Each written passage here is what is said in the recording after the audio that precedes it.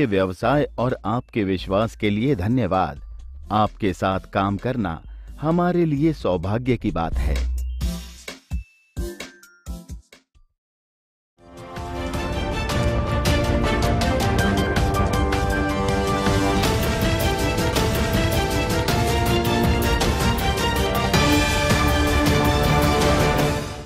নমস্কার আমার বাংলা সংবাদে আমি রত্নেশ্বরনাথ আপনাদের সকলকে স্বাগত জানাচ্ছি প্রথমে সংবাদ শিরোনাম। নজরুল ইসলামের একশো পঁচিশতম জন্মদিবস পালিত দিনভর নানা কার্যসূচি।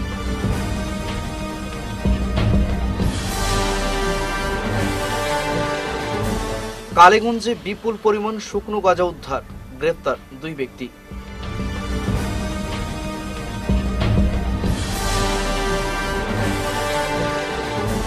মাধ্যমিকে সেরাদের সংবর্ধনা নেতাজি বিদ্যা ভবনে। ঋতুজাও সম্মানিত।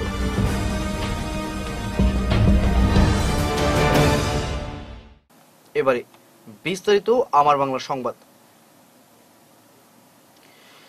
বিদ্রোহী কবি কাজী নজরুল ইসলামের একশো পঁচিশতম জন্মদিবস নানা কার্যসূচির মাধ্যমে পালন করেছে এআইডিএসও, কাছাড় জেলা কমিটি। সকাল আটটায় সংগঠনের কর্মীরা উকিলপট্টিস্থিত জেলা কার্যালয় থেকে একটি শোভাযাত্রা বের করে পরে পার্ক রোডের কাজী নজরুল ইসলামের মূর্তির পাদদেশে উপস্থিত হয়ে। শ্রদ্ধা নিবেদন করা হয়। এআইডিএসওর জেলা কমিটির কোষাধ্যক্ষ পল্লব ভট্টাচার্য, জেলা কমিটির সদস্য আপনলাল দাস, সুধাংশু দাস, স্বপন চৌধুরী সহ সংগঠনের কর্মীরা মাল্যদান করে শ্রদ্ধা জানান। সেখানে উপস্থিত ছাত্রছাত্রীদের সামনে পল্লব ভট্টাচার্য কাজী নজরুল ইসলামের জীবন সংগ্রাম নিয়ে সংক্ষিপ্ত বক্তব্য রাখেন। সংগঠনের উদ্যোগে এদিন ভাগাবাজারেও সংগঠনের জেলা সম্পাদক গৌরচন্দ্র দাস, জেলা কমিটির অন্যতম সদস্য সাবির আহমেদ সহ বিশিষ্ট নাগরিকবৃন্দের উপস্থিতিতে এখানে নজরুলের জন্মদিবস উদযাপন করা হয়। সংগঠনের পক্ষ থেকে ধোয়ারবন দুধপাতের ইত্যাদি স্থানে অনুষ্ঠান উদযাপিত হয়।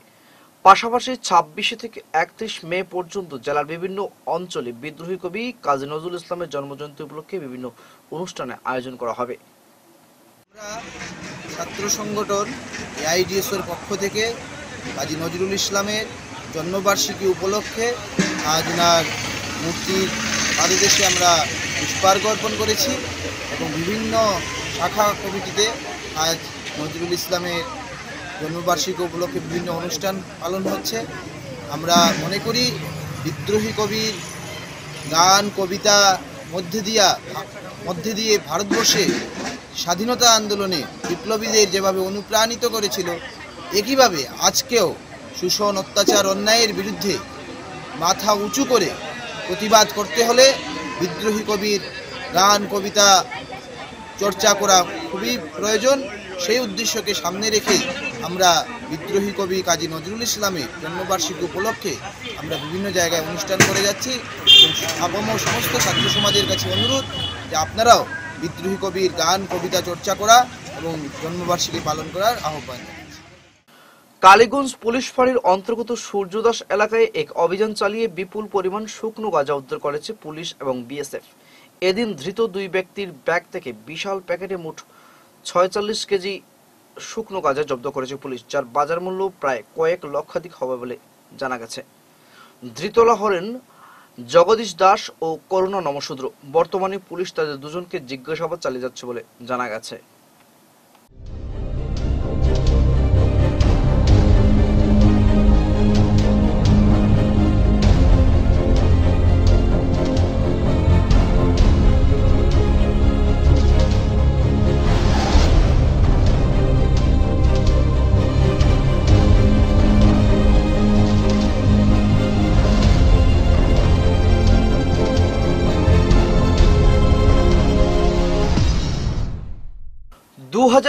সালের মাধ্যমিক পরীক্ষায় প্রথম বিভাগে উত্তীর্ণ পড়ুয়াদের সংবর্ধনা জানালো Netaji Vidyabhavan girls higher secondary school.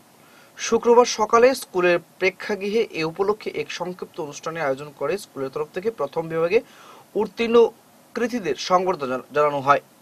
অনুষ্ঠানে আমন্ত্রিত অতিথি হিসেবে উপস্থিত ছিলেন শিক্ষাবিদ দীপক সেনগুপ্ত। সম্মানিত অতিথি হিসেবে উপস্থিত ছিলেন স্কুলের পরিচালনা সমিতির সভানেত্রী সন্ধ্যা আচার্য, উপসভানেত্রী লিপিকা রায়, স্কুলের অবসরপ্রাপ্ত শিক্ষক সুবিমল নাথ চৌধুরী, অবসরপ্রাপ্ত শিক্ষিকা রেখা দেব, চারুকলা শিক্ষক অরুণ কুমার পাল।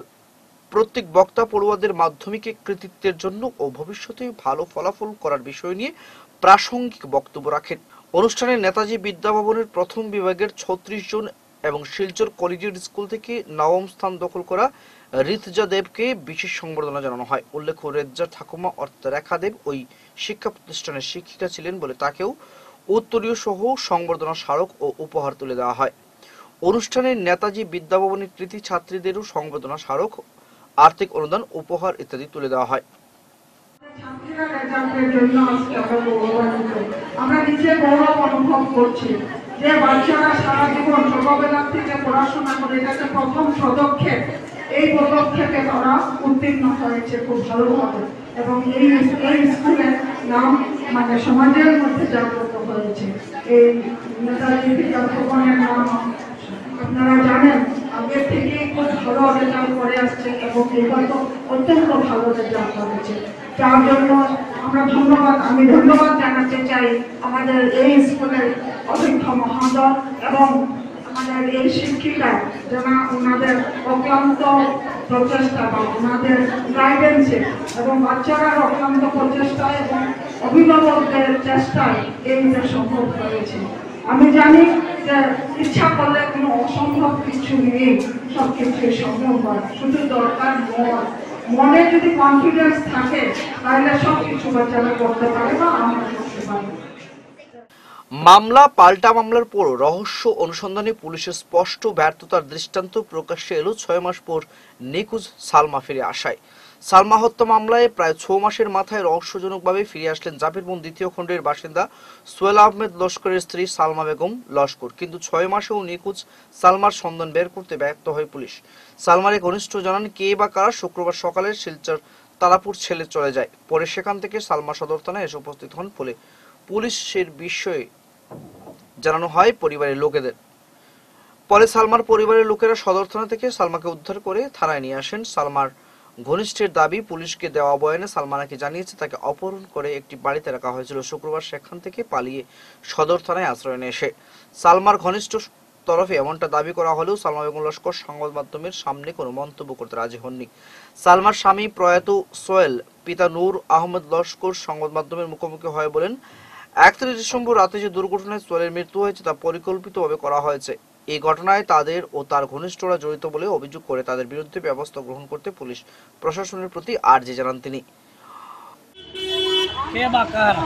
কীভাবে গেছে? এটা আমরা জানি না। পরের দিন সকালে আমরা ছেলে খবর দিছে যে এই অবস্থা তার স্ত্রী নাম ছেলের নাম সোহেল আহমদ লস্কর তার ছেলে নাই দেখিয়া তার স্ত্রী ঘর পূজা পূজা হইল তারা আত্মীয় স্বজন পূজাইল তারা আত্মীয় স্বজন পূজা পুজি করিয়া এরপরে এমত অবস্থায় তার মা, মারেও খবর দেওয়া মাও জানে, মায়ে আইয়া পরে মায়ে তারা লিয়ে বলে থানাত কিতা একটা টেস্ট করছে আরও কিছু বাসনও দিছে মিডিয়া। এরপরে যাই হোক, গেল আমরা হেও আসলো জীবিত, প্রায় বিশ একুশ দিন বলা সেইটারে তার খোঁজাখুঁজি করছে। কী অবস্থা হয়েছে এটা তারা জানে আমরা জানিও না আমরা তো পাইছি যখন ছেলে মারা গেল কবে মারা গেছে? জানুয়ারির প্রথম তারিখ রাত্রে সাড়ে দশটা হ্যাঁ, দুর্ঘটনা অ্যাক্সিডেন্টে হয়েছে। মারা যাওয়ার পরে এখান থেকে আমরা হসপিটাল নিতে প্রায় বারোটা চল্লিশ চল্লিশ হয়ে গেছে। ওই সময় এখানে জল মেডিকেল কলেজে তারা ক্লিয়ার তারা। হ্যাঁ আসলে ওখানেও নাই আমরা শরীর গরম দিকটা নিয়ে গেছে। হোক, এরপর থেকে আজকে অতদিন পাঁচ মাস অতিরিক্ত অতিরিক্ত হইল এরপরে আমরা একটা কেস সন্দেহ এবার আজকে ফার্স্ট নাকি? আজকে হঠাৎ খবর পাইলাম। পাইলাম। একশো নব্বই জন ছাত্রছাত্রীদের পাঠদান দিচ্ছেন মাত্র একজন শিক্ষক। শুনতে অবাক লাগলেও ঘটনাটি সত্য। করিমগঞ্জ জেলার রামকৃষ্ণনগর শিক্ষাখণ্ডের অধীনে থাকা শ্রীমন্ত শঙ্করদেব মধ্যবঙ্গ বিদ্যালয়ের তিনটি ক্লাসে একাই পাঠদান করে যাচ্ছেন। শারীরিকভাবে অক্ষম এক শিক্ষক। বিদ্যালয়টিতে রয়েছে সব ধরনের সুযোগ সুবিধা, রয়েছে ডিজিটাল ক্লাসরুমও, কিন্তু সবকিছু ঠিকঠাক থাকলেও নেই পর্যাপ্ত শিক্ষক। একশো নব্বই জন ছাত্রছাত্রীদের একাই পাঠদান দিয়ে যাচ্ছেন শারীরিকভাবে অক্ষম প্রধান শিক্ষক হিমাংশু আচার্য। তিনি প্রধান শিক্ষক, তিনি সহকারী শিক্ষক। কিছুতেই কর্তব্যে গাফিলতি না করে স্কুল শুরু হওয়ার পর একটি ক্লাসে গিয়ে তিনি ঠিকঠাক মতো পাঠদান করে যাচ্ছেন এই প্রধান শিক্ষক আচার্য। এই শিক্ষকের কর্তব্য পালন করা দেখে অনেকেই তাকে সাধুবাদ জানিয়েছেন। আমার নাম হিমাংশু আচার্য আমি রাজনীতি ওয়ার্ক কমিটি।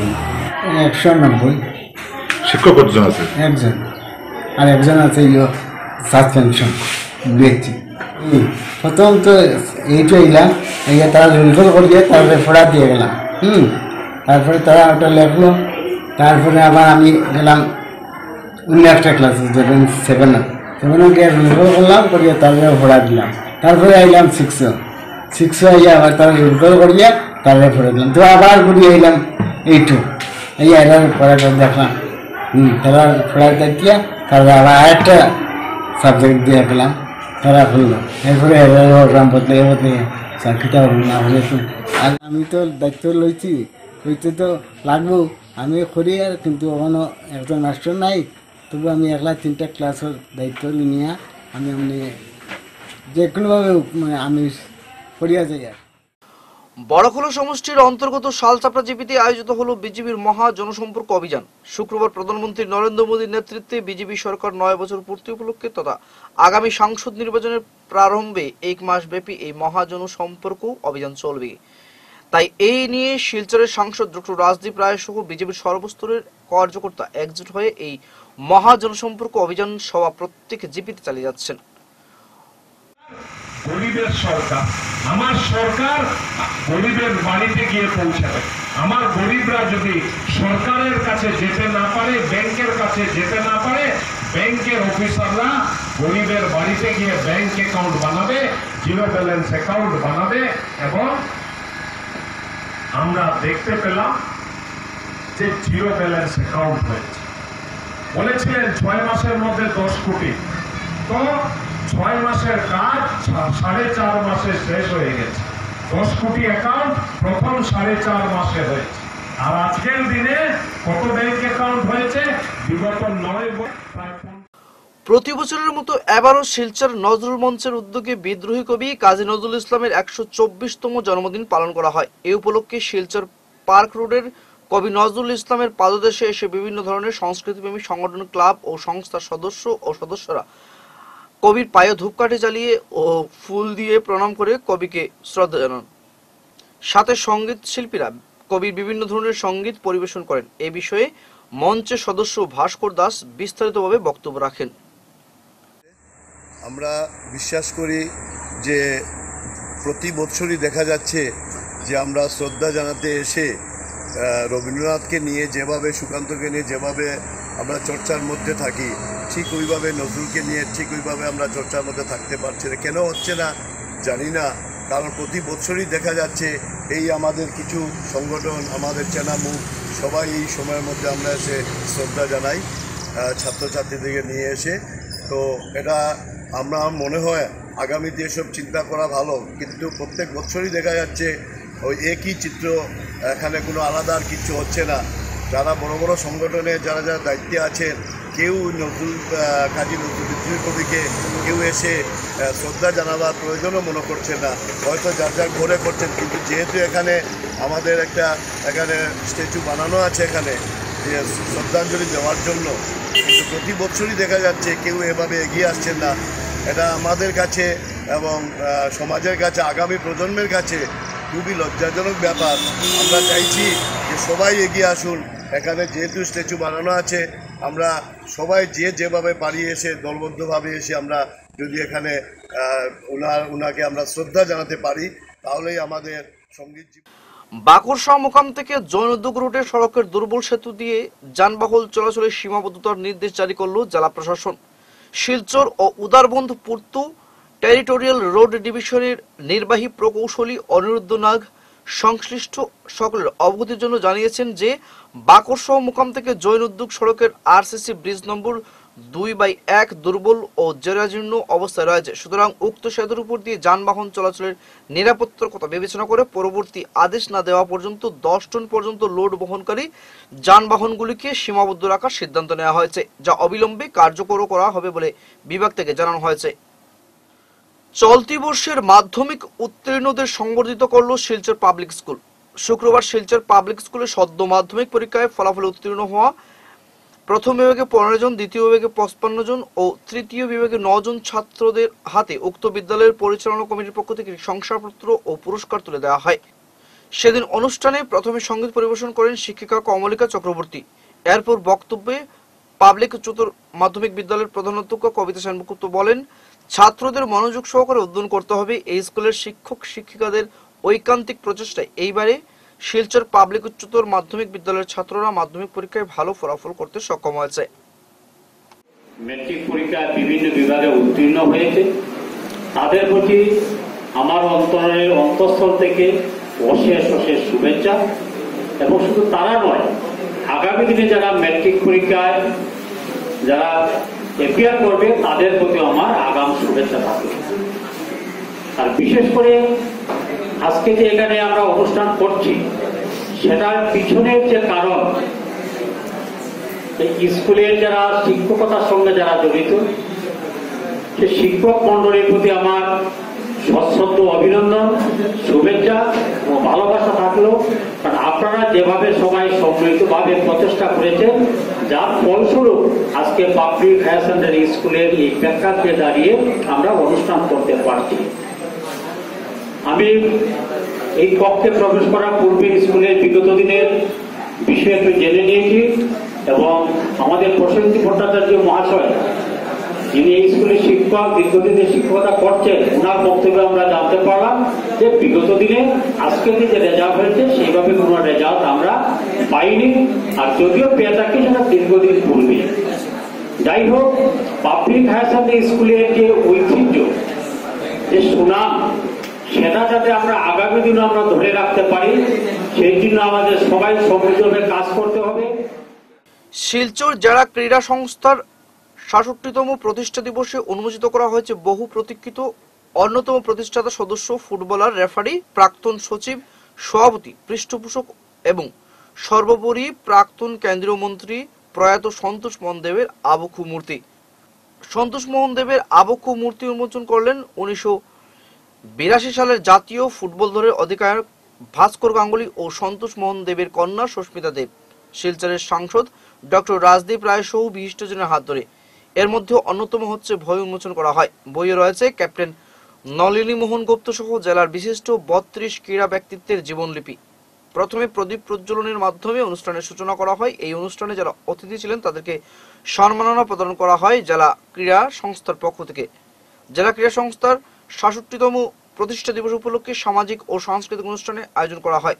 বক্তব্য রাখেন তৃণমূলের সাংসদ সুস্মিতা দেব ও শিলচরের সাংসদ রাজদীপ রায়। ওনারা বলেন প্রয়াত কেন্দ্রীয় মন্ত্রী সন্তোষ মোহন দেবের অনেক অবদান রয়েছে শিলচর জেলা ক্রীড়া সংস্থার উন্নয়নে।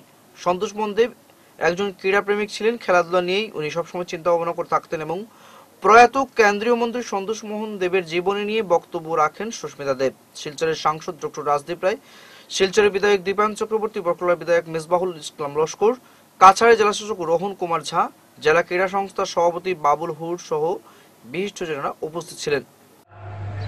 উপস্থিত যদি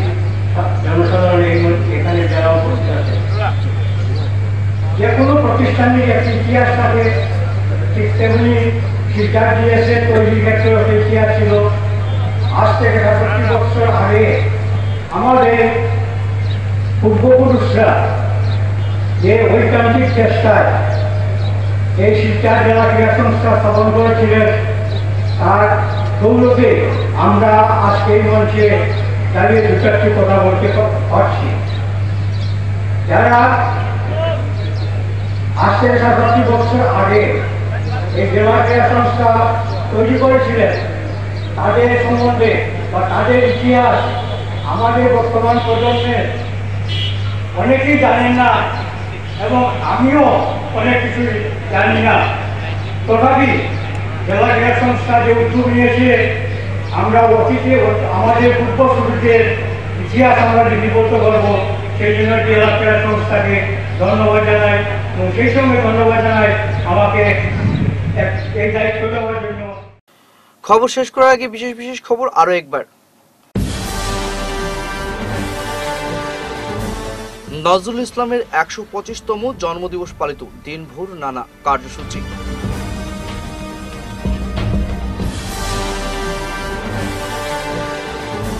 কালীগঞ্জে বিপুল পরিমাণ শুকনো গাঁজা উদ্ধার, গ্রেপ্তার দুই ব্যক্তি।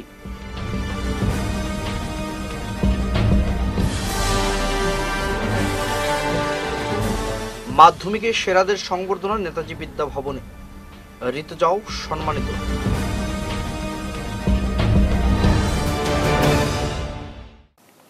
এখনকার আমার বাংলা সংবাদ এ পর্যন্তই, নমস্কার।